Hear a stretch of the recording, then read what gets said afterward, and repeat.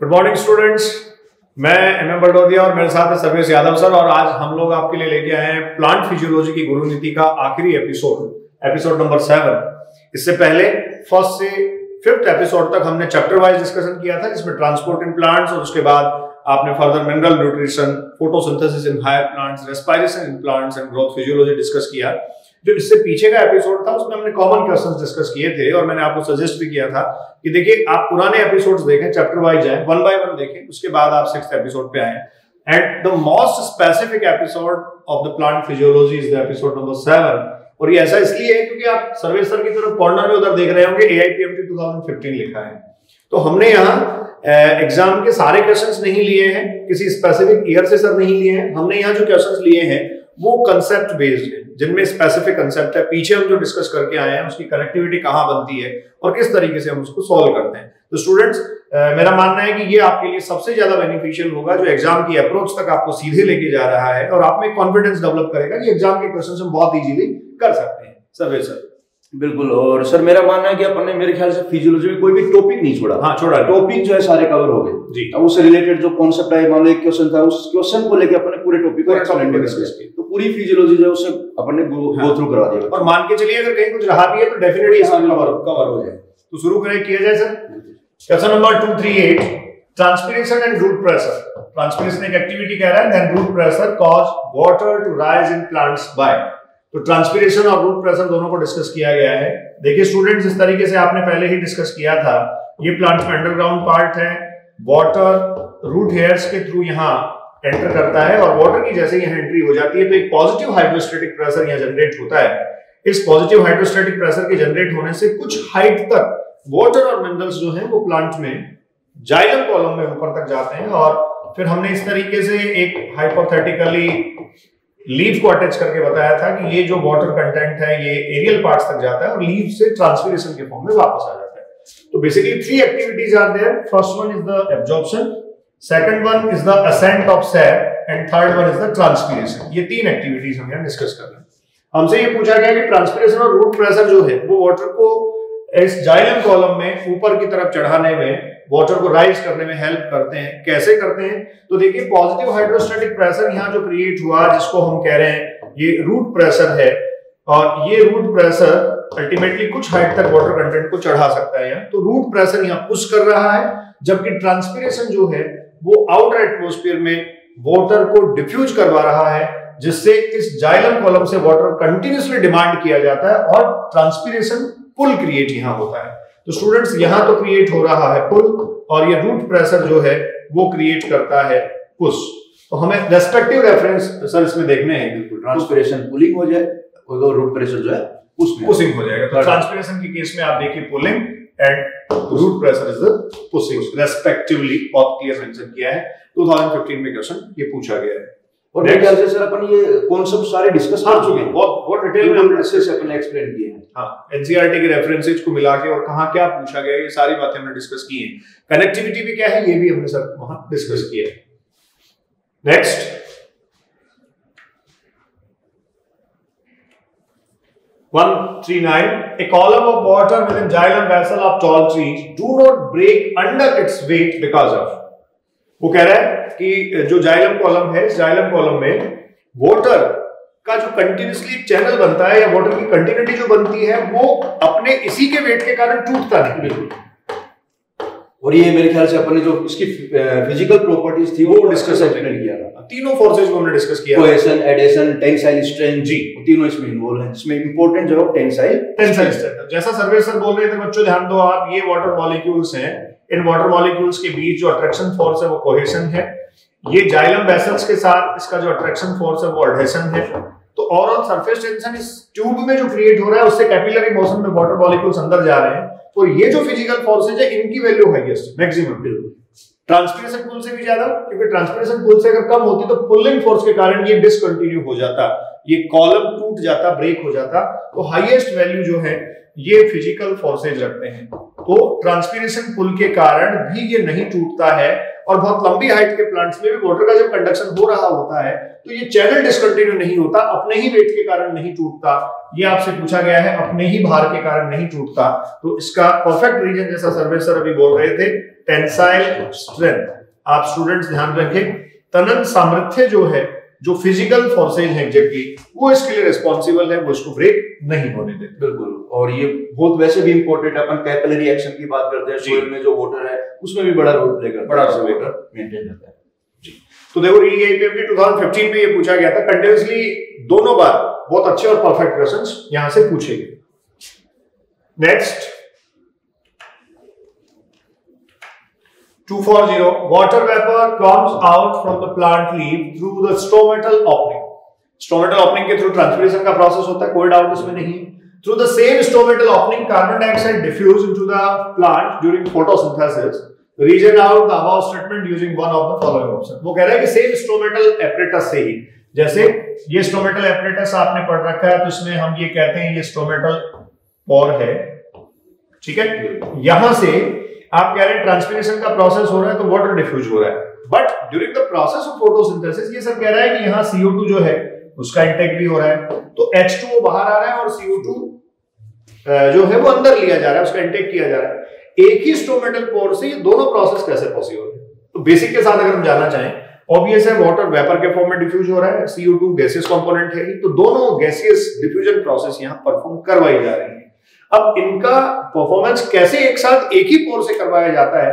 बिल्कुल। और इन्होंने देखो इस कॉन्सेप्ट में डिफ्यूजन और ये जो प्रोसेस है उनको आपस में कोरिलेट कोरिलेट कर दिया। इस पे डिफ्यूजन पे जाना पड़ेगा। जो डिफ्यूजन कोफिशियंट होता है वो हर एक का जो है। डिफ्यूजिव पार्टिकल अलग अलग होता है। सर डिफ्यूजन के इंट्रोडक्शन में एक लाइन मेंशन की है जहाँ बहुत क्लियरली लिखा है कि इंडिपेंडेंट होता है। किसी एक सब्सटेंस का डिवीज़न किसी दूसरे सब्सटेंस के डिवीज़न से इफ़ेक्ट नहीं होता तो इंडिपेंडेंटली ये डिफ्यूज कर पाएँगे। लेकिन इनके इंडिपेंडेंट डिफ्यूजन का जो रीजन है बच्चों सर अभी बोल रहे थे। सर्वे सर ने जैसा बोला डिफ्यूजन कॉफिशिएंट ये सर ये इधर कॉफिशिएंट जो मेंशन कर रखा है जो डिफ्यूजन कॉफिशिएंट है ये कॉफिशिएंट डेफिनेटली हर एक मॉलिक्यूल का अलग अलग होगा। इसीलिए एट ए टाइम इन दोनों का जो है वो डिवीज़न एक साथ एट ए टाइम एक ही पोर से हो जाता है ऑप्शन सर पढ़ लें। One process occurs during the day time and other at the night ऐसा नहीं है। डे टाइम में ट्रांसपिरेशन होता है और डे टाइम में CO2 एक्सचेंज भी इंटेक भी प्लांट करता है। बहुत processes can not happen simultaneously question यही है आपका कि साइमल्टेनियसली हो रही है तो दोनों को रिजेक्ट कर सकते हैं। फिर कह रहा है बहुत processes can happen together because the diffusion coefficient बिल्कुल। ये देखिए मार्क कर दें सर इसको डिफ्यूजन कोएफिशिएंट जो है of water and CO2 is different CO2 और वाटर का जो डिफ्यूजन कोएफिशिएंट है, वो डिफरेंट डिफरेंट है. इसीलिए ये प्रोसेस जो है, वो एक ही स्टोमेटल पोर से एट ए टाइम परफॉर्म करवाई जा रही है. थर्ड आंसर यहाँ करेक्ट आंसर होगा. Clear next 241 which of the following facility opening of stomatal apparatus facilitates कौन सा जो है वो स्टोमेटल एपरेटस को खोलने के लिए ओपन करने के लिए फैसिलिटेट करता है? Decrease in turgidity of guard cell बिल्कुल अपन भी काफ़ी कॉन्सेप्ट पे बात की जो आपके स्टोमेटल कोर की बात करें जो गार्ड सेल्स जो ओपनिंग होती है तो सिंपल है टर्जिडिटी इंक्रीज होगी ना डिक्रीज होगी तो ये स्टेटमेंट तो यही incorrect बिल्कुल इनकरेक्ट हो जाएगा। गार्ड सेल को टर्जिड होना चाहिए अगर स्टोमेटा ओपन करवाना है। फिर सर लिखा radial orientation of cellulosic microfibrils in the cell wall of the guard cell बिल्कुल मेंशन भी किया है। ये जो गार्ड सेल उनकी जो सेल वॉल है वहाँ पर जो माइक्रोफाइब्रिल है उनका रेडियल अरेंजमेंट होता है। जी। और जब ये स्ट्रेच होती है जैसा सर ने बनाया ना जब ये स्ट्रेच होगी तो स्टोमेटल ओपनिंग में जो है ये सेलुलोजिक माइक्रोफाइब्रिल्स हेल्प करते हैं। इनका जो रेडियल ओरिएंटेशन है ये बहुत इंपॉर्टेंट है। और यही गार्ड सेल की टर्जिड कंडीशन में उस स्टोमेटल पोर को ओपन करवाने में हेल्प करता है। तो ये सब परफेक्ट रीजन है।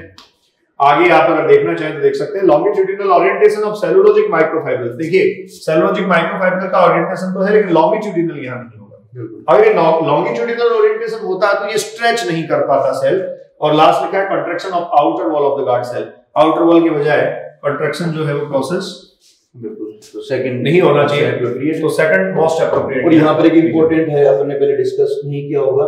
ये जो गार्ड सेल इनमें जो सेल वॉल है उसमें भी डिफरेंस है इसकी थिकनेस में। यहाँ पर थिकनेस ज़्यादा होगा। और यहाँ पर थिकनेस कम है। तो तभी ये क्या हो रहे हैं? हाथ पर एक्सटेंड हो रहे हैं और यहाँ पर फिर पोर का फॉर्मेशन बिल्कुल हो पा रहा है।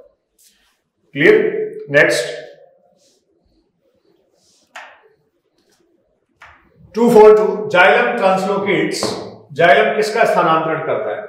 तो देखिए हमने पहले क्लियर किया प्लांट में जाइलम के थ्रू होने वाला है प्रोसेस एसेंट ऑफ़ सेप और एसेंट ऑफ़ सेप में बच्चों आपको वाटर और आप कह सकते हैं मिनरल्स जो हैं, वो ट्रांसलोकेट करवाने होते हैं। लेकिन हमने पढ़ा था लेग्यूम प्लांट्स में जो एमाइड्स बनते हैं टू फिक्सेशन के टाइम जाइलम वेसल्स के थ्रू ही वो ट्रांसफ़र होते हैं। तो एमाइड्स का जो ट्रांसलोकेशन है सर ये हमें ऑर्गेनिक मैटर के ट्रांसलोकेट को इंडिकेट करवाता है कि यहाँ से ऑर्गेनिक मैटर जो है, वो ट्रांसलोकेट हो रहा होगा। और एज पर रिक्वायरमेंट स्टूडेंट्स आपने पढ़ा है ऑक्सीन और साइटोकाइनिन जैसे साइटोकाइनिन आपने कहा मैक्सिमम यहाँ सिंथेसाइज होता है और इंडोल एसिटिक एसिड जो अपेक्स पर है वहाँ तक वो ट्रेवल करता है। सो all four type of substances can translocate through the xylem similarly through the fluid. बिल्कुल। तो ऑप्शन के अकॉर्डिंग तो फिर ये हो जाएगा water mineral salt sir water लिया है mineral salts and some organic nitrogen only some organic nitrogen लिखा है। आपने बताया जैसे यहाँ हार्मोन भी इंक्लूड कर दिया है। तो second water mineral salt some organic nitrogen and hormones तो ये परफेक्ट है। आगे सिर्फ़ वाटर की बात की गई है और उसके बाद आप देखिए सिर्फ़ वाटर और मिनरल सॉल्ट्स की बात की गई है। तो ये सिर्फ़ असेंट ऑफ़ सेट के लिए करेक्ट है। फोर यहाँ परफेक्ट आंसर होगा second next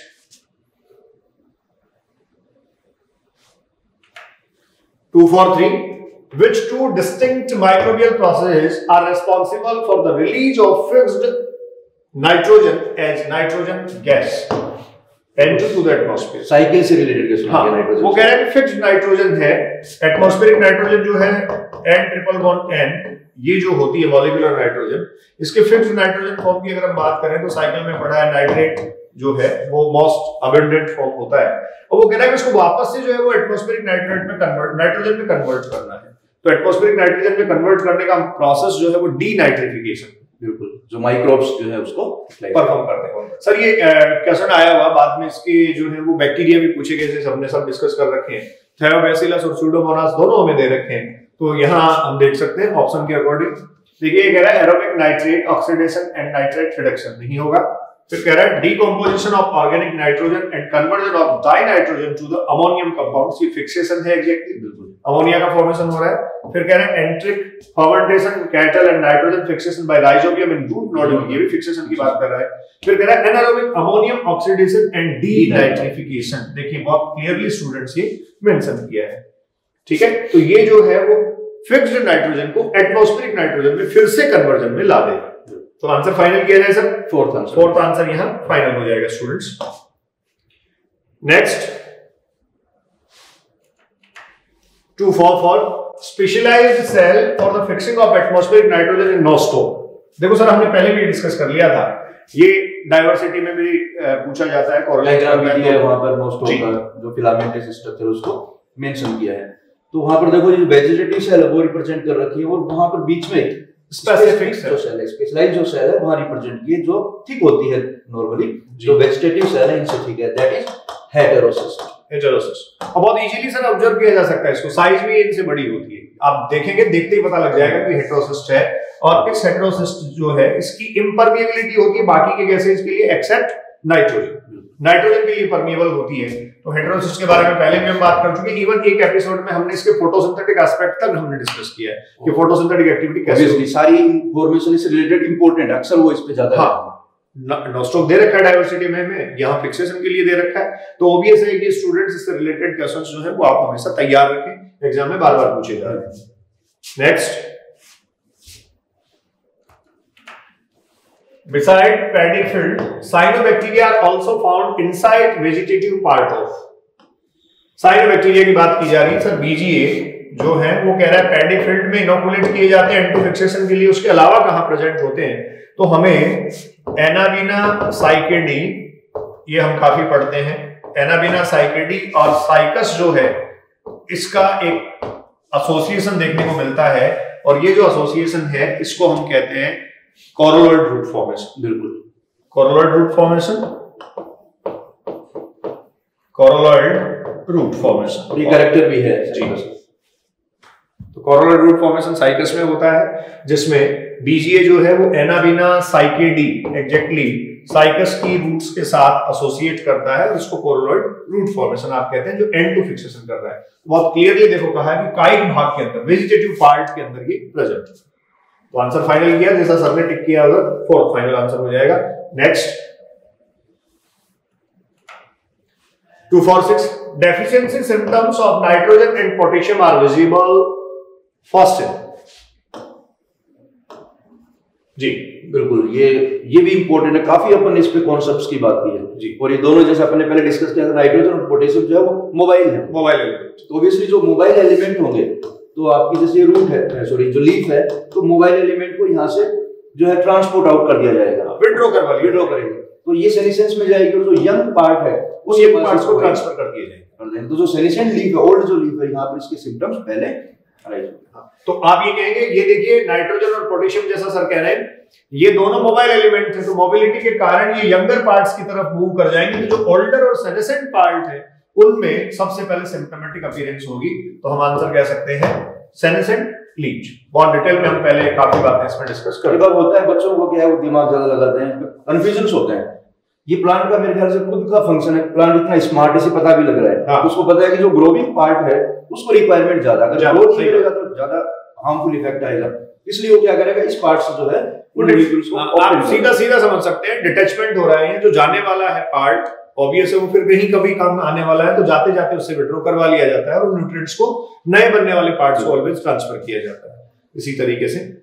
नेक्स्ट आइए students question number 247 during biological nitrogen fixation, inactivation of nitrogenase by oxygen poisoning is prevented by, वो कह रहे हैं नाइट्रोजनेज एंजाइम जो है, उसके एक्टिव साइट पर ऑक्सीजन की प्रेजेंस अगर आ जाती है तो ऑक्सीजन उसको पॉइजनिंग कंडीशन में ला देती है। इसको कौन प्रिवेंट करता है? ये आपसे यहाँ पूछा गया है। नाइट्रोजन स्थिरीकरण के दौरान ऑक्सीजन के विषैले प्रभाव से नाइट्रोजनेज का निष्क्रियकरण किसके द्वारा होता है? तो देखिए कैरोटीन आपको दे रखा है लैग हीमोग्लोबिन साइटोक्रोम और जेंथोफिल ये कैरोटीन साइटोक्रोम और जेंथोफिल ये कैरोटीन और जेंथोफिल दोनों फोटोसिंथेटिक पिगमेंट है। साइटोक्रोम जो है, वो कंपोनेंट है एटीएस के। और लैग हीमोग्लोबिन जिसको एलएचबी आप कहते हैं, ये ऑक्सीजन स्कैवेंजर के फॉर्म में एक्ट करता है। बैक्टीरिया जो राइजोबियम है, वो सॉइल बैक्टीरियम है। फ्री फॉर्म में सॉइल में था। सॉइल से होस्ट प्लांट्स में एंटर ही इसलिए हुआ है वो, जिससे उसको अनऑक्सीजनिक एनवायरनमेंट मिल सके। और प्लांट के पास वहाँ लैग हीमोग्लोबिन जो था वो ऑटो स्केवेंजर के फॉर्म में प्रेजेंट था जिससे नाइट्रोजनेज एंजाइम को प्रिवेंट किया जा सके। तो एग्जैक्टली आंसर हो जाएगा। Leg haemoglobin leg haemoglobin sir इस पे भी काफ़ी डिटेल में पहले बात कर चुके हैं। Next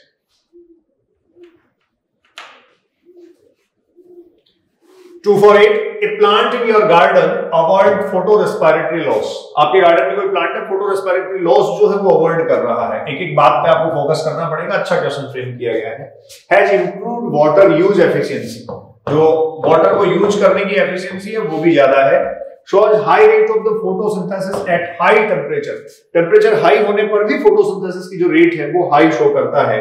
और कह रहा है improved efficiency of nitrogen utilisation तो देखिए सर चार से पाँच बातें यहीं कनेक्ट करना चाह रहा है। सबसे पहले तो मैं कहूँ अगर मैं यहाँ से चलूँ नाइट्रोजन यूटिलाइजेशन जो है उसकी एफिशिएंसी बढ़ा रहा है तो है प्लांट का ग्रोथ एंड डेवलपमेंट ज़्यादा हो रहा है। तो अभी नाइट्रोजन का यूटिलाइजेशन वहाँ बढ़ा है।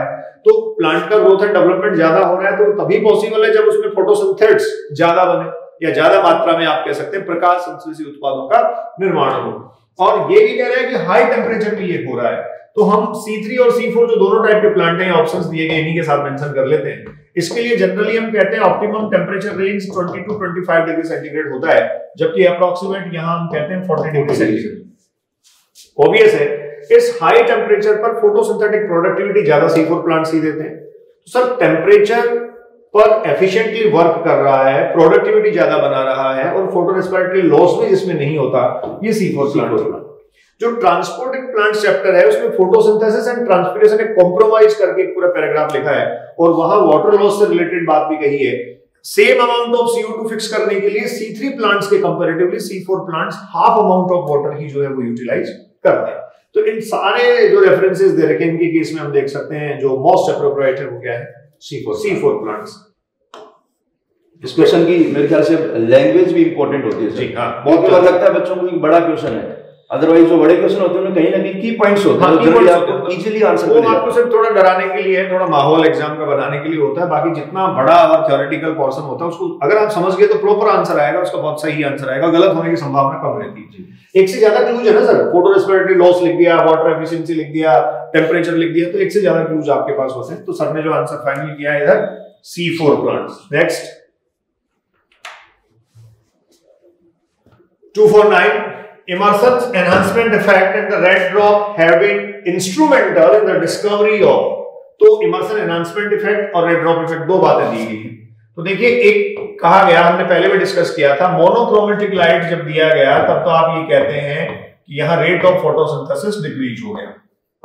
रेड उसके बाद में फार रेड तो रेड लाइट पे जाकर वो ड्रॉप कर देता है मतलब रेट ऑफ़ फोटोसिंथेसिस गिर जाता है। लेकिन जैसे ही मिक्स्ड लाइट सब दी गई वैसे ही आप ये कह सकते हैं वहाँ रेट ऑफ़ फोटोसिंथेसिस इंक्रीज हो गया। तो उसको एनहांसमेंट कह रहे हैं और रेड ड्रॉप तब कह रहे हैं जब रेड लाइट में रेट ऑफ़ फोटोसिंथेसिस डिक्रीज हो रहा है। तो ये क्या इंडिकेट करता है? तो हम अगर देखें तो जो फ़ोटो सिस्टम्स हमारे पास है एक हम लिखते हैं पी सिक्स एट ज़ीरो ये पी एस सेकंड है स्टूडेंट्स जैसा आप जानते हैं। और एक हम लिखते हैं पी सेवन डबल ज़ीरो और ये जो है वो फ़ोटो सिस्टम फ़र्स्ट है। तो अगर आप देखें तो इसका एब्जॉर्प्शन पीक 700 है और इससे ऊपर अगर आप जाते हैं तो फार रेड लाइट में ये आप कहेंगे रेट ऑफ़ फोटोसिंथेसिस डिक्रीज हो जाएगी ये ड्रॉप को शो करेगा और इधर अगर आप देखते हैं 680 में तो आप ये कह सकते हैं रेड लाइट से पहले रेड स्पेक्ट्रम की जो लाइट इसको मिल रही है इसमें फोटोसिंथेटिकली ये जो है वो एफिशिएंटली एक्ट कर रहा है।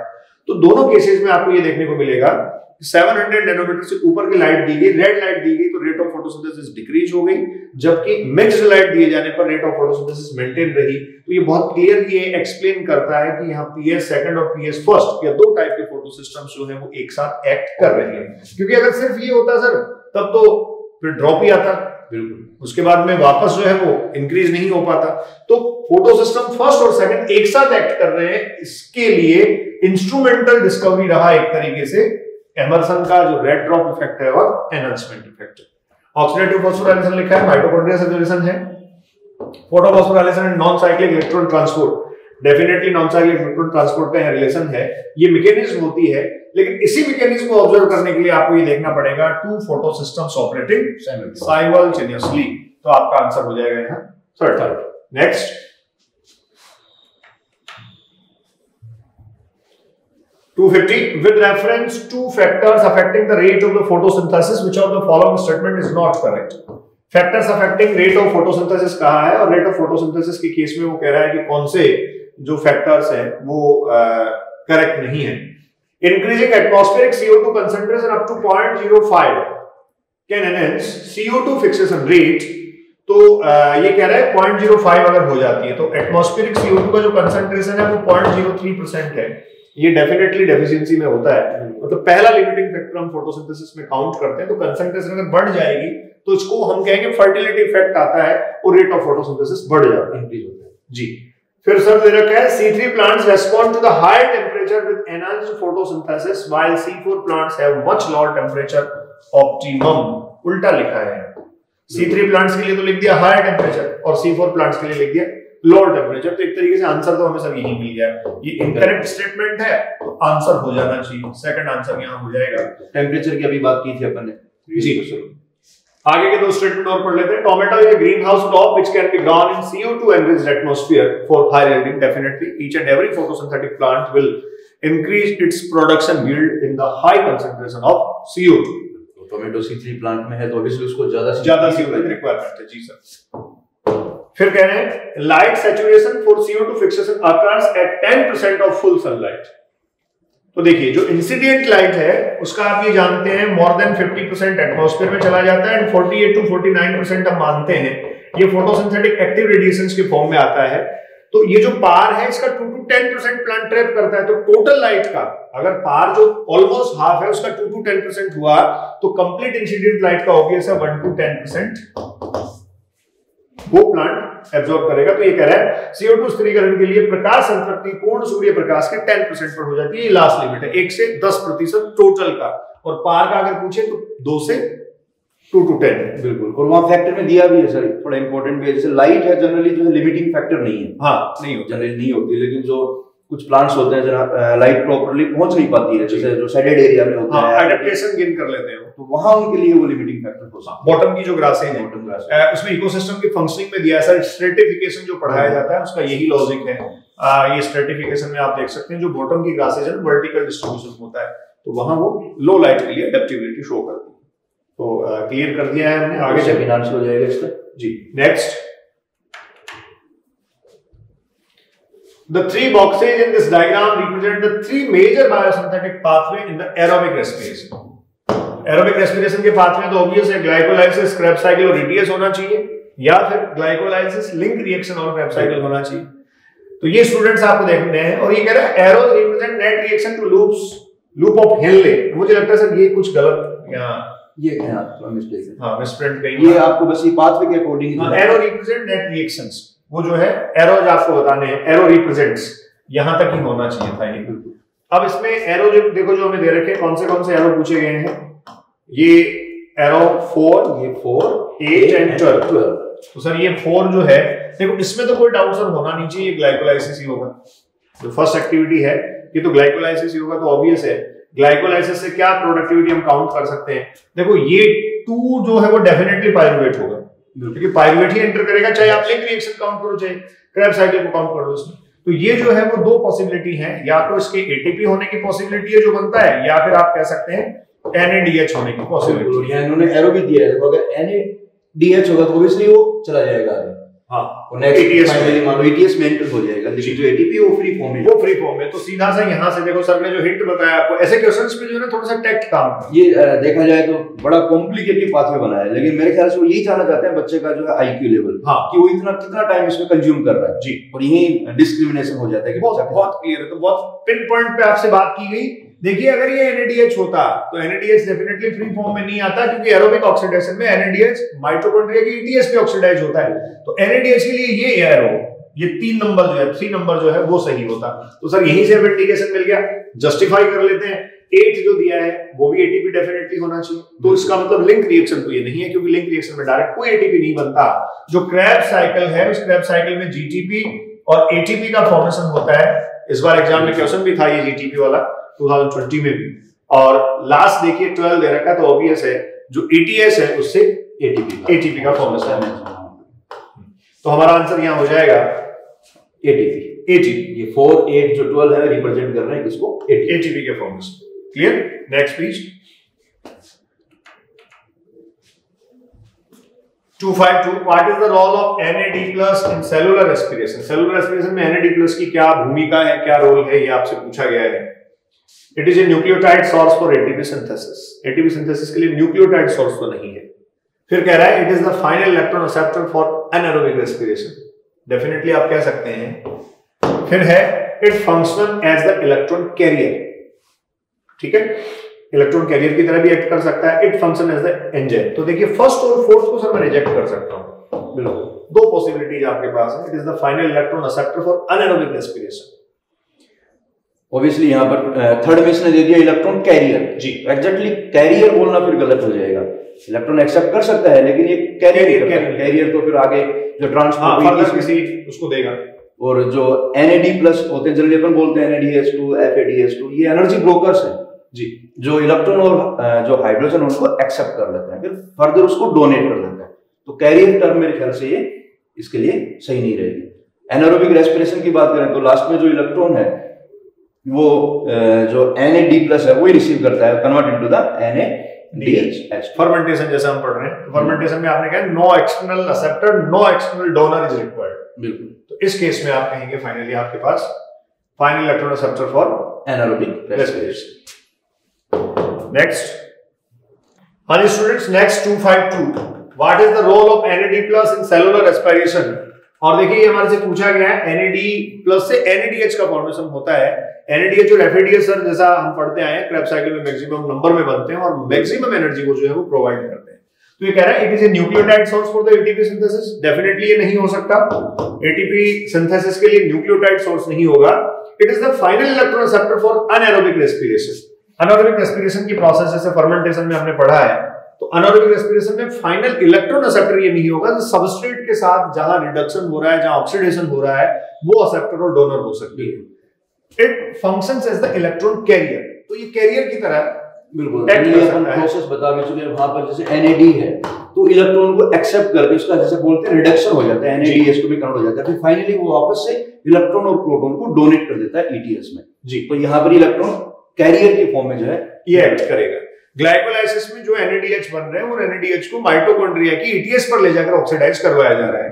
तो सर ने जैसा कहा it's the functional electron carrier और it function as the electron carrier ये आंसर आपके पास हो जाएगा। एंजाइम से कोई कोरिलेशन इसका नहीं है। क्लियर नेक्स्ट हाँ जी students next two five three what causes a green plant expose light on only one side to bend towards the source of light as it grows वो कह रहा है कि किसी एक ग्रीन प्लांट को अगर लाइट के एक्सपोजर में रखा जाता है तो एक साइड बेंडिंग उसमें आ जाती है। ये मेरे ख्याल से वो एक्सपेरिमेंट के फ़ंक्शन की बात कर रहे हैं। जी एविना कोलियोकाइल कर्वेचर टेस्ट जो बायो से भी पढ़ते हैं ऑक्सीजन का। ऑब्वियसली यहाँ से अगर आपने यूनिडायरेक्शनल लाइट दी है तो यहाँ लाइट जैसे यहाँ पर इमिट होगी ऑब्वियसली यहाँ ऑक्सीजन का फॉर्मेशन होगा। ऑक्सीजन जो है इधर ट्रांसफ़र हो जाएगा। डार्क साइड में। डार्क साइड क्योंकि सेंसिटिविटी होती है ऑक्सीजन बिल्कुल और डार्क साइड में जैसे ऑक्सीजन जाएगा तो वहाँ पर सेल डिवीज़न स्टार्ट हो जाएगा प्रमोट होगा सेल इलोंगेशन होगा। तो जैसे सेल इलोंगेशन होगा या सेल डिवीज़न होगा तो ये एरिया जो है बेंड हो जाएगा इसमें बेंडिंग आ जाएगी। ये एफडब्ल्यू बेंड का एक्सपेरिमेंट है जो ऑक्सीजन का बायो से भी है और इससे पहले चार्ल्स डार्विन और फ्रांसिस डार्विन ने भी कैनरी ग्रास पर जो है वो एक्सपेरिमेंट किए थे। सर हम पढ़ लेते हैं इसको। Oxygen accumulates on the shaded side stimulating greater cell elongation there बिल्कुल परफेक्ट बात लिखी है। ठीक है, और पढ़ लेते हैं options green plants need light to perform photosynthesis बिल्कुल सही बात है, सारे प्लांट्स ही लाइट को रिक्वायर करते हैं फोटोसिंथेटिक एक्टिविटी के लिए, लेकिन उससे बेंडिंग का रिलेशन सब नहीं है। Green plants seek light because they are phototrophic definitely phototrophic response plant show करते हैं, लेकिन ये कह रहा है कि वो जो लाइट यूटिलाइज करते हैं, उससे बेंडिंग आ रही है तो उस बेंडिंग के पीछे रीजन क्या है, वो हमारे से पूछा गया है। Light stimulates plant cell on the lighted side to grow faster lighted side के बजाय आप कह सकते हैं डार्क साइड जो होता है जैसा सर अभी बता रहे थे कि ऑक्सीजन जो है वो डार्क साइड की तरफ़ डिस्प्लेस होगा और वहाँ सेलुलर इलोंगेशन और सेल डिवीज़न कंटिन्यूअसली होता चला जाएगा। तो इस तरीके से हमारे पास इसका करेक्ट आंसर हो गया first next oxygen can be by से बाय अभी जिसकी बात हम कर रहे थे वही एग्जैक्टली हमारे से पूछ लिया गया है। तो देखिए एविना कोलियोप्टाइल कर्वेचर टेस्ट जो है वो ऑक्सीजन के बायोसे के फॉर्म में लिया जाता है। हाइड्रोपोनिक्स मिनरल न्यूट्रिशन में आप सब पढ़ चुके हैं।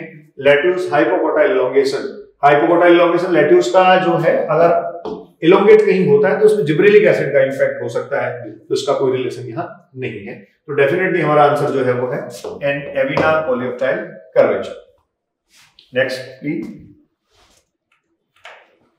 What is the site of the perception of photo period necessary for induction of flowering in plants? Question भी आपने करवाए थे किस तरह का क्वेश्चन आता है आ सकता है तो सेम क्वेश्चन है भी एग्ज़ाम का। हाँ। अच्छा क्वेश्चन तो जैसा सर कह रहे हैं देखो हमने डिस्कस किया था कि ये लीफ है किसी ट्विग से ब्रांच से कनेक्ट है और ये सोलर रेडिएशन जो है वो उस पे आता है।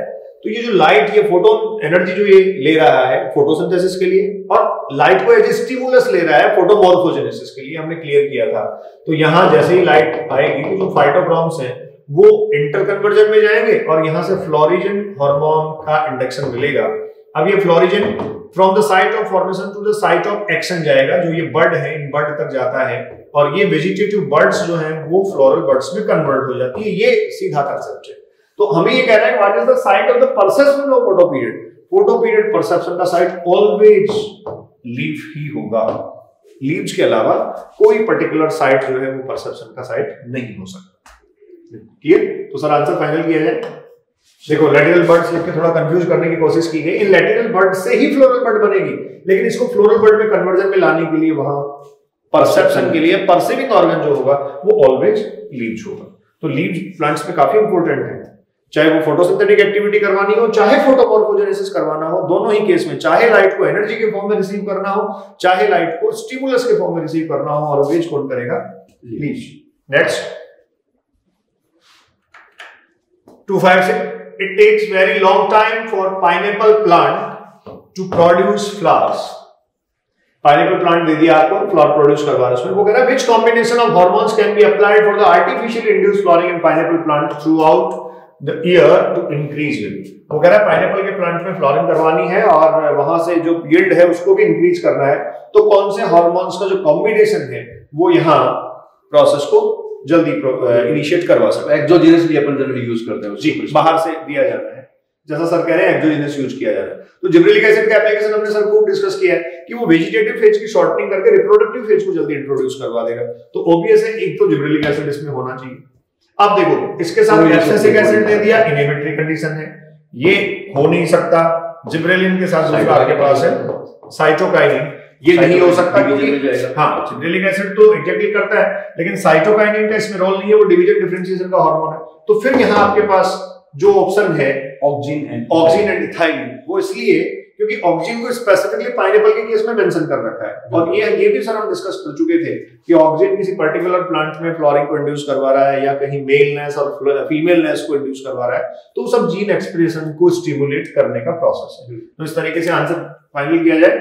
थर्ड आंसर हो जाएगा। ऑक्सीजन एंड थायराइड और अपनी एनसीईआरटी में बच्चों को ये भी मैं कहना चाहूँगा जो हार्मोन्स दे रखे उनके जो फिजियोलॉजिकल इफेक्ट्स हैं मेरे ख्याल से डायरेक्ट दे रखे हैं उन्होंने। क्या हाँ। बिल्कुल सिंपल वे में। सीधा सीधा लिखा है। अदरवाइज़ जितने भी हार्मोन उनका आपस में भी इंटरलिंक है। हाँ। वो उसी को प्रमोट करेगा। ऑक्सीजन जो है जिब्रेलिन की एक्शन को प्रमोट करेगा। तो वो वो प्रमोट करेगा इनहिबिट करेगा। एंटागोनिस्टिक इंपैक्ट भी है। वो भी हमने डिस्कस की है। जैसे एब्सिसिक एसिड में दे रखा है कि करीब करीब एंटागोनिस्टिक इफ़ेक्ट लाता है वो जिब्रेलिक एसिड जो जिब्रेलिक एसिड बढ़ाएगा उसको वो ऑलवेज कम कर देगा। तो इस तरीके से ये आपके पास आंसर हो गया। Third third next 257 which of the following technique was used by the Kelvin for tracing the pathway of photosynthesis? Direct technique की बात की उसने? जी।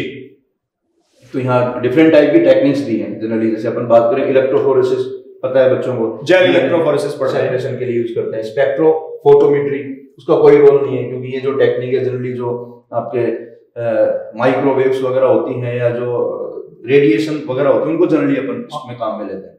और सेम जो है वो स्कैनिंग इलेक्ट्रॉन माइक्रोस्कोप है वो एक हाँ, ये ये ये उसमें दे रखा है सर पॉलन ग्रेन के लिए।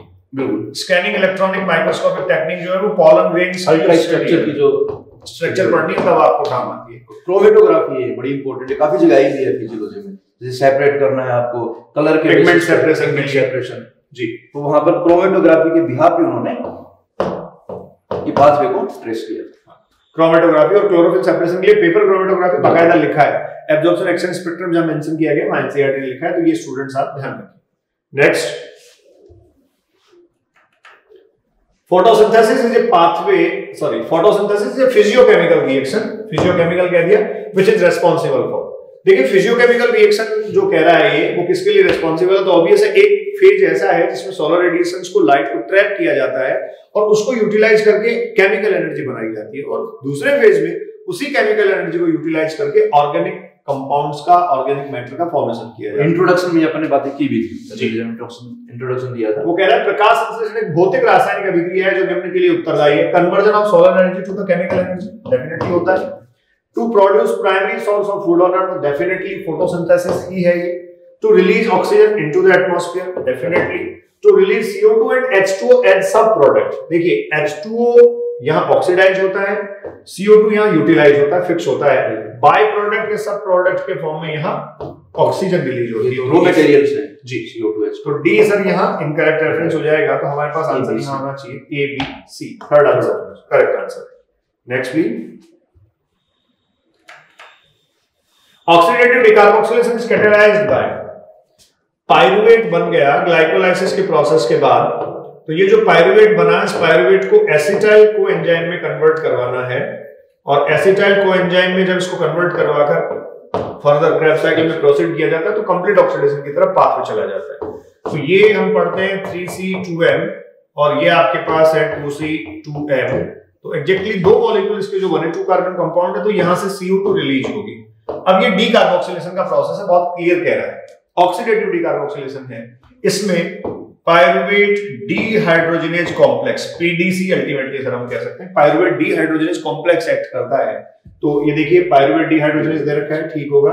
पायरुवेट काइनेज का कोई रोल यहाँ नहीं है। डी कार्बोक्सिलेज और पायरुवेट ऑक्सीडेज तो फाइनली सर आंसर हो जाएगा। डिहाइड्रोजनेज पायरुवेट डिहाइड्रोजनेज और ये अपन डिस्कस कर चुके हैं लिंक रिएक्शन जो है। लिंक रिएक्शन की बात ये की जाए। Next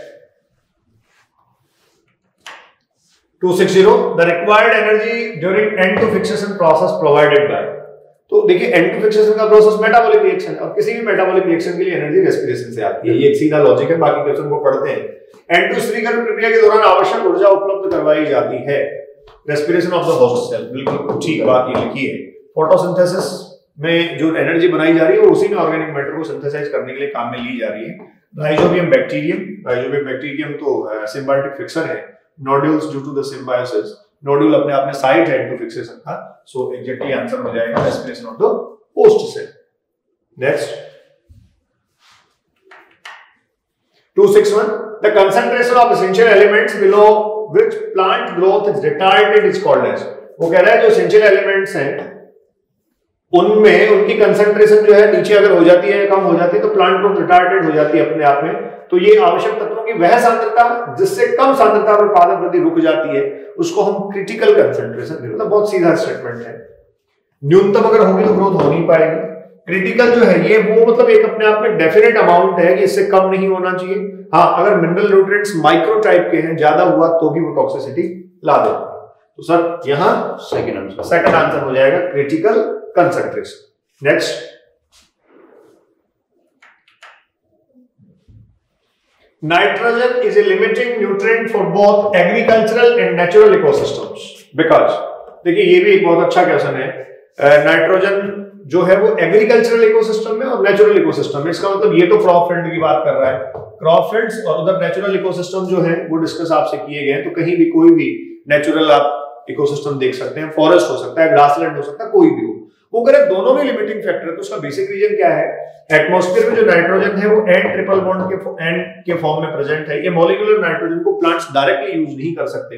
वो नाइट्रोजन सॉल्ट्स में और कंपाउंड्स में यूटिलाइज इसको कर पाते हैं। और उसके लिए उनको, उनकी डिपेंडेंसी है डाई एजोट्रॉप्स पर। डाई एजोट्रॉप्स पर जो माइक्रोब्स हैं तो ये डाई एजोट्रॉप्स जो फिक्स करके देंगे, उसको प्लांट्स यूटिलाइज कर पाएँगे, इसलिए ऑब्वियस है वो लिमिटिंग फैक्टर होगा। तो यहाँ से ऑप्शंस पे हम आए सर ये कह रहे हैं source of N2 for rooted plant is soil only ऐसा नहीं है, सिर्फ़ सॉइल नहीं है। हाँ सॉइल डेफिनेटली रिजर्वर होता है। स्पेसिफिकली नाइट्रेट के केस में अगर हम बात करें तो अबंडेंटली सॉइल से ही जो है, वो नाइट्रोजन लिया जाता है। फिर कह रहा है plant can not consume atmospheric nitrogen directly ठीक बात है। सही है, लेकिन इससे इसकी रेलेवेंस ये सीमाकारी पोषक जो उसकी बात की है तो इससे नहीं होगा। Plant compete with microbes plant compete with microbes in the limited nitrogen ये डेफिनेटली एनसीईआरटी का स्टेटमेंट भी है कि जो माइक्रोब्स हैं वो फिक्सेशन कर रहे हैं और उन्हीं के साथ प्लांट्स को क्या करना पड़ रहा है? कॉम्पीट करना पड़ रहा है। इवन uh, कुछ माइक्रोब्स जो है वो भी इन नाइट्रोजनस सॉल्ट्स को as a source of energy utilise करते हैं इनको ऑक्सीडाइज करते हैं। ये उधर डाइवर्सिटी में भी सर मेंशन किया गया जहाँ कीमोसिंथेटिक नेचर की बैक्टीरिया दिए गए तो ऑब्वियसली वहाँ कंपटीशन है और ही रीजन है कि उनके लिए फिर वो लिमिटेड हो गया। आंसर थर्ड हो जाएगा clear next sir 263 transport through the secondary vascular system secondary vascular system हमें दे दिया इसका मतलब प्लांट में डेफिनेटली सेकेंडरी ग्रोथ हो चुकी है। अब सेकेंडरी वेस्कुलर सिस्टम के थ्रू किसका कंडक्शन हो सकता है? या क्या हो सकता है? देखिए सेकेंडरी वेस्कुलर सिस्टम बना के दे दिया तो किसी भी लॉन्ग डिस्टेंस ट्रांसपोर्ट की ही बात ये कर रहा है। Exactly LDT long distance transport और लॉन्ग डिस्टेंस ट्रांसपोर्ट के लिए बच्चों दो बातें आप ध्यान रखें। ऑलवेज टर्म लिखा जाता है ट्रांसलोकेशन ट्रांसलोकेट करना एक पोजीशन से दूसरी पोजीशन पर या पर्टिकुलर किसी मटेरियल को की लोकेशन चेंज करना। ट्रांसलोकेशन या अभिगमन उसको कहते हैं। बाकी सब देखो उधर वो वाली प्रोसेस लिखती है जो पैरासेक्सुअलिटी बैक्टीरिया में है दो वो लिखे हैं ट्रांसफॉर्मेशन ट्रांसडक्शन और एक लिखा है। तो कंफ्यूज करने के लिए ट्रांस ट्रांस को चार ऑप्शन हाँ एक जैसे ऐसे। यूनिफॉर्मिटी जो है वो क्वेश्चन में लाने के लिए किया गया है।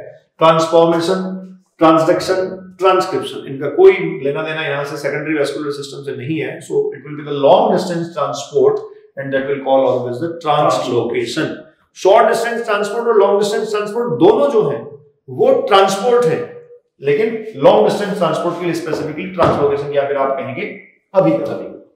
Next transport rate reach at the maximum when कब मैक्सिमम पहुँच जाती है? कब कहाँ तक मैक्सिमाइज हो जाती है वो? तो देखिए कह रहा है all lipid molecules are being used all protein molecules are being used all carrier proteins are being used carbohydrate molecule are being used तो ट्रांसपोर्ट सैचुरेट की एक तरीके से बात ही कर रहा है। बिल्कुल। तो इसमें सर एनसीईआरटी में हमें एक टेबल भी दे रखी है जिसमें फैसिलिटेड डिफ्यूजन और एक्टिव ट्रांसपोर्ट बच्चे डिस्कस करते हैं। तो किसी भी मेम्ब्रेन पर प्रेजेंट जो ट्रांसपोर्टर है प्रोटीन ट्रांसपोर्टर है if they are using all या उन सबको यूज़ किया जाएगा तो डेफिनेटली ट्रांसपोर्ट मैक्सिमम होगा ट्रांसपोर्ट सैचुरेशन है। और ये कैरेक्टर भी फैसिलिटेड डिफ्यूजन और एक्टिव एक्टिव ट्रांसपोर्ट दोनों का है। तो हम ये कह सकते हैं इसमें लिपिड मॉलिक्यूल्स का कोई रिलेशन नहीं है। कैरियर प्रोटीन्स हाँ यहाँ प्रोटीन मॉलिक्यूल्स हो सकते हैं लेकिन इसके बजाय कैरियर प्रोटीन कैरियर प्रोटीन पे हमें जाना चाहिए क्योंकि प्रोटीन तो मेम्ब्रेन में तीन टाइप का है। प्रोटीन तो वहाँ स्ट्रक्चरल भी है प्रोटीन वहाँ जो है वो कैटेलिटिक टाइप का भी है और प्रोटीन जो है वो वहाँ कैरियर भी है। तो कैरियर प्रोटीन यहाँ हमारे काम का है third answer next carrier concept is applicable for carrier concept is applicable for carrier concept किसके लिए? जो वाहक अवधारणा है, वो किसके लिए लागू होती है? अभी जैसा बात कर थे सिंपल डिवीज़न का कोई रिलेशन नहीं है। फैसिलिटेड डिवीज़न और एक्टिव ट्रांसपोर्ट सर्विस ने भी दोनों बातें बोली थी तो ये सेकंड और थर्ड जो है, वो आपके पास आंसर हो जाएगा। इस पे कोई ज़्यादा डिस्कस करने की मुझे नहीं लगता ज़रूरत तो पहले खूब बातें। क्वेश्चन भी जैसे आ रहे हैं सर बड़े सिंपल स्ट्रेट फॉरवर्ड क्वेश्चन पूछे जाते हैं नीट में। बिल्कुल। Next A seed may appear dry, but it still has. यहाँ हमने कुछ क्वेश्चन वो भी डाल लिए जो जैसे पहले अगर कहीं थोड़ा बहुत कुछ रह गया और हम उसको इंक्लूड कर सकते हैं तो उनको भी हमने ध्यान में रखा है। तो देखिए ड्राई सीड जो होता है वो अपने मास का ten to fifteen percent water content hold करता है। ठीक है? ड्राई सीड जो है वो भी अलाइव होता है क्योंकि नेक्स्ट जनरेशन प्रोड्यूस करने की कैपेबिलिटी उसमें है। और ये सर प्लांट एम्ब्रियोलॉजी में जहाँ सीड दे रखा है वहाँ बिल्कुल क्लियरली मेंशन किया है कि इतना जो है वो उसके पास वाटर कंटेंट होगा। तो सीधा बच्चों को ये याद रखना है। ज़ीरो परसेंट वाटर तो कोई नहीं कभी नहीं हो सकता। ज़ीरो परसेंट होते ही इसका मतलब है डेड हो गया। वो जो है वो नेक्स्ट जनरेशन जनरेट ही नहीं कर सकता। Over twenty five moist condition इतनी जब आएगी तब डेफिनेटली वो जर्मिनेट ही हो जाएगा। सीड के फॉर्म में नहीं रह पाता है।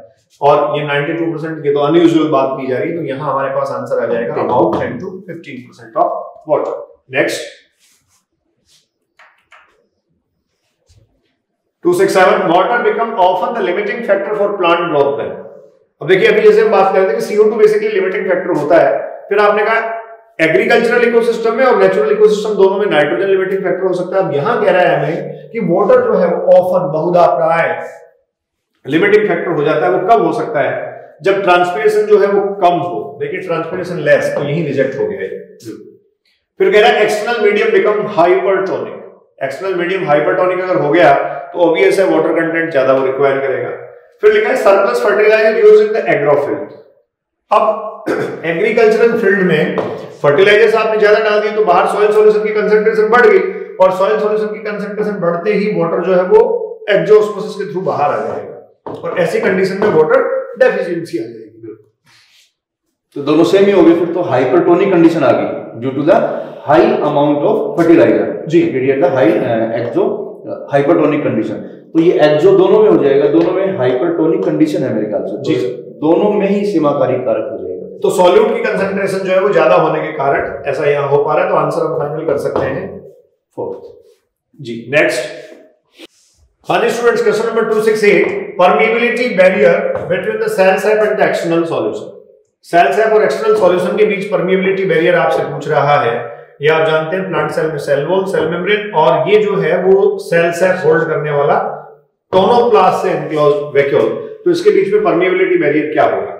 ऑब्वियस है साइटोप्लाज्म भी होगा सेल मेम्ब्रेन भी होगी। तो यहाँ ऑप्शन हम देख लेते हैं sir plasma membrane cytoplasm cytoplasm लेकिन यहाँ इन्होंने टोनोप्लास्ट भी दिया है। जी। तो डेफिनेटली होगा।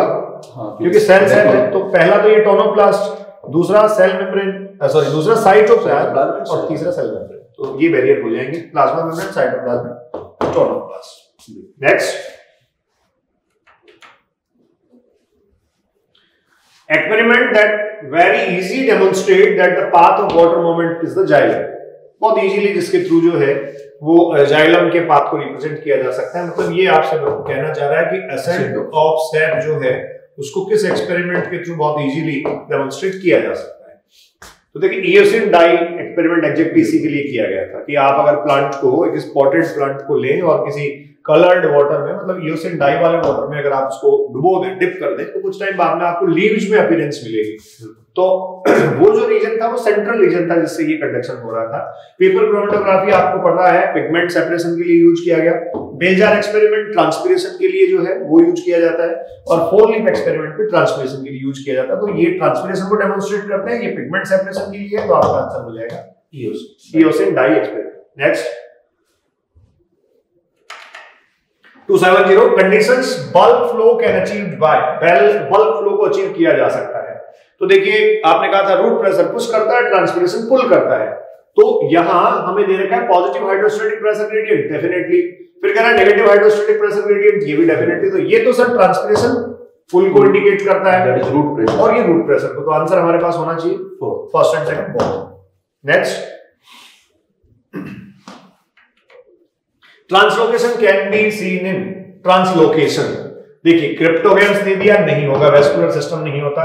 स्पर्मेटोफाइट्स इंपोर्टेंट है स्पर्मेटोफाइट्स में हम जिम्नो एंड एंजियोस्पर्म्स को डिस्कस कर सकते हैं। एम्ब्रियोफाइट्स में आप ब्रायो से एनजीओ को डिस्कस कर सकते हैं। ब्रायोफाइट में सबसे पहले एम्ब्रियो बना फ़र्स्ट एम्ब्रियोफाइट्स है। ओल्ड ट्रेकियोफाइट्स मुझे लगता है ये परफेक्ट है क्योंकि ट्रैकेट्स को इंडिकेट कर रहा है। तो देखिए ये टेरिडो इसके बाद जिम्नो और एनजीओ तो ये एक तरीके से डाइवर्सिटी से कनेक्ट करता हुआ एनाटॉमी से कनेक्ट करता हुआ क्वेश्चन है जो फिजियोलॉजी का है। तो बहुत सारी कनेक्टिविटी सीधे तौर पर है और tracheophytes next root cap is essential for मूल गोप आवश्यक है। हमने सर इस पे भी काफ़ी बात की थी इवन इसकी सेल्स की एक्टिवेशन की इन्वॉल्वमेंट की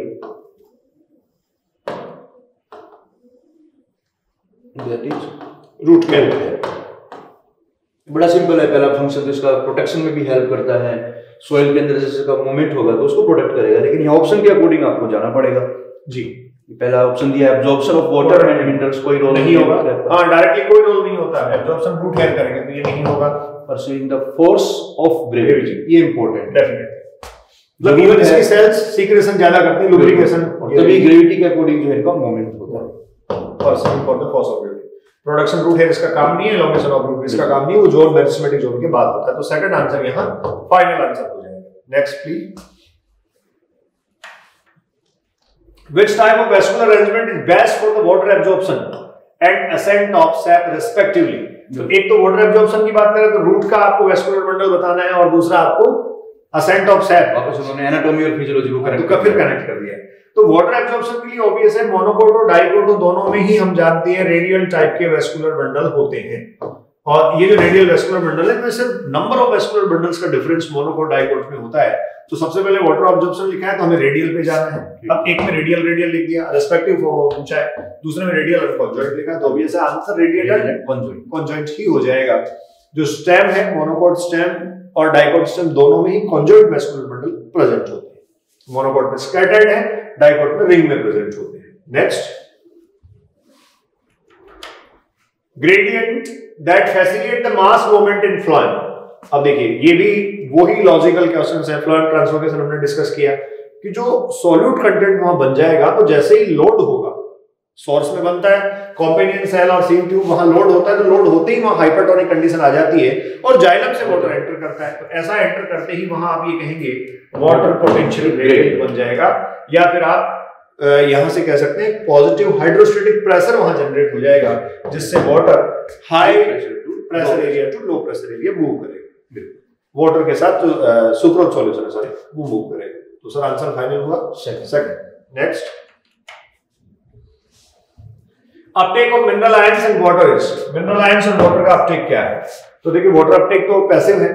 और वाटर के साथ कुछ मिनरल आयन भी पैसिव आ सकते हैं बट मिनरल्स का जो एग्जैक्टली अपटेक है वो एक्टिव होता है। तो यहाँ ऑप्शन के अकॉर्डिंग हमें देखना पड़ेगा। मोस्टली एक्टिव दोनों के केस में नहीं कह सकते। मोस्टली पैसिव दोनों के केस में नहीं कह सकते, क्योंकि मिनरल आयंस जो है, इनका एक्टिव अपटेक होता है। तो फिर ये कह रहा है most of mineral uptake is active and water is passive definitely यही आंसर इसमें आप फाइनल कर देंगे next 276 that the cell wall is permeable structure can be best deduced from the passage of water and mineral salts from. वो कह रहे हैं cell wall permeable structure इसको बेस्ट कहाँ देखा जा सकता है? तो हम जब रूट हेयर से वाटर एब्जॉर्प्शन करवाने के बाद इसको कॉर्टिकल रीजन से ले जाते हुए एपिडर्मिस की सॉरी एंडोडर्मिस की पासेज सेल तक जाते हैं तो हम ये कहते हैं कि ये सुबेरिनाइज है। और ये सुबेरिनाइज होने के कारण यहाँ से वाटर की एंट्री नहीं हो सकती सिर्फ़ पासेज सेल से ही वाटर की एंट्री होती है।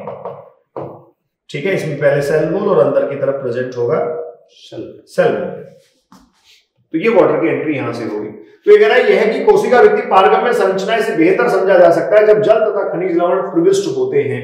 सॉइल इनटू रूट हेयर्स सबसे पहले सॉइल से रूट हेयर में जब एंटर होते हैं वहाँ भी डेफिनेटली सेल वॉल को क्रॉस करके आ रहा है। लेकिन वहाँ दोनों हैं। लेकिन दोनों हैं। प्लास्ट हाइपोप्लास्ट जी। तो वहाँ variate root hair into cortical cells cortical cells में भी सिम्प्लास्ट हाइपोप्लास्ट दोनों हैं। Pericycle into the tracheary element बिल्कुल। ये भी जैसे आपने बताया पेरिसाइकिल से ट्रेकियरी में जब जाएगा तो वहाँ पर एंट्री फिर उसी के थ्रू है पासेज सेल के थ्रू फासेट सेल के थ्रू एंट्री होगी। तो ये पेरिसाइकिल इस एंडोडर्मिस के ठीक बाद वाली लेयर है। और इस लेयर के बाद आप कह सकते हैं इसके सामने जाइलम प्रेजेंट होता है प्रोटोजाइलम जिसको आप कह सकते हैं। तो ये एग्जैक्टली एंट्री इसी में करवाता है। और फिर दिया है cortical cells into the pericycle तो कॉर्टिकल सेल से पेरिसाइकिल का कोई कनेक्शन नहीं है क्योंकि बीच में एंडोडर्मिस हुई तो थर्ड यहाँ pericycle into the tracheary element tracheary element dead element है वो कंप्लीटली एपोप्लास्ट शो करता है जबकि पेरिसाइकिल से आप कह सकते हैं सिम्प्लास्ट पाथवे के थ्रू आ रहा है एंडोडर्मिस की पासिक सेल के through next 277 dry wooden stacks if driven into a small crack in a rock and then soft can develop enough pressure to split the rock such pressure is built up through uh, the phenomenon of तो देखिए ये NCERT में mention भी किया है कि इम्बाइवेशन का जो प्रोसेस था उससे क्या किया जाता था रॉक्स को स्प्लिट करने के लिए जो प्री हिस्टोरिक मैन है वो ऐसा करता था रॉक्स को स्प्लिट करने के लिए वुडन पीसेज उनके बीच में लगा देता था उनको वाटर सॉल्व करके तो ये हमारे पास सबसे पहली एक्टिविटी ही आंसर इसका हो जाएगा। प्रेशर जो है उसका बड़ा है। हाँ इम्बाइवेशन प्रेशर ये आईपी यहाँ से जनरेट होता है। ये आईपी जो वुडन के वुडन पीसेज के स्वेल अप होने से जनरेट हुआ। आंसर अपना फ़र्स्ट हो फ़र्स्ट हो जाएगा next The rate of the transpiration in plants is depends upon dependent upon rate of transpiration. देखिए टेम्परेचर पे डिपेंड करती है फिर लिखा है सॉइल सॉइल सॉल्यूशन में वाटर की अवेलेबिलिटी उससे एब्जॉर्प्शन सीधा कोरिलेट करता है ट्रांसपिरेशन नहीं करेगा। Light and temperature definitely light और टेम्परेचर पर डिपेंड करेगा। फिर पढ़ लेते हैं। विंड टेम्परेचर एंड लाइट यहाँ एक और इंक्लूजन आपको दे दिया गया। ये ज़्यादा इंपॉर्टेंट है क्योंकि आउटर एटमॉस्फेयर को ड्राई करने में इसका मेन रोल है। फिर कह light temperature atmosphere humidity and ये सारे दे दिए। तो एक तरीके से ये जो है वो मोस्ट परफेक्ट आंसर है। उसमें सर सबसे ज़्यादा इंपॉर्टेंट है ह्यूमिडिटी ह्यूमिडिटी पे डिपेंड करेगा आउटर एटमॉस्फेयर सैचुरेट है या नहीं है। अगर सैचुरेट होगा तो वाटर कंटेंट कम बाहर आएगा।